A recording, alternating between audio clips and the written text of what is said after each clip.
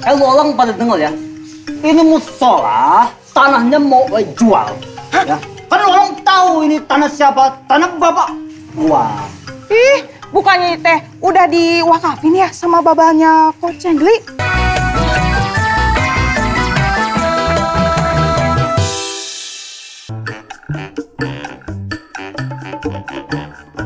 Tugas lu masing-masing udah halus tahu.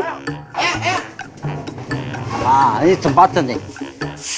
Lu satu orang, itu lu congkel, lu lubuhin dari pondasinya. Nah, yang ini juga lu satu orang, lu congkel, lu lubuhin. Ada apaan sih tuh? Di depan rame-rame banget. Aduh, Tuh nyaho saya ge bingung, aya naonnya? ih, nggak tahu. Ki, Bo, Bo, lihat deh, tuh, ke depan. Ada apaan sih rame-rame? Apa ya? Bener ya? Iya, cepetan. Dulu. Bawa rambut lu. Pada mau ngapain nih? Lu jangan ngalangin gua, Kibo nanti kecongkel juga lu. Eh, eh, Kibo ya teh naon? Ada apaan sih ini? Kok rame-rame begini? Eh lu orang pada denger ya. Ini musola, tanahnya mau gue jual. Ya. Kan orang tahu ini tanah siapa? Tanah bapak. Wah. Ih, bukannya teh udah diwakafin ya sama babanya Coach Cengli? Iya bener, tanahnya kan udah diwakafin kok. Diwakafin itu pakai kontrak lima tahun udah beres, gua mau jual. Ih, nggak takut kualat ente. Wah kenapa lu? Ih, masa tanah udah diwakafin dijual? Oh, Setelah gua dong tanah, tanah gua lu. Udah bongkar bulat.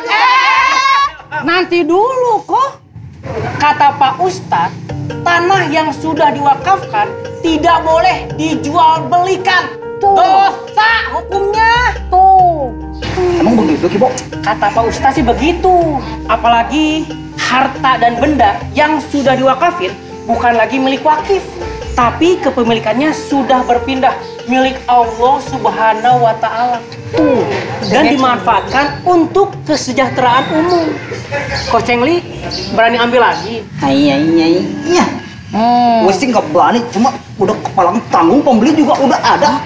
Udah lobohin langsung aja lobohin. Kok masih dibongkar? Jangan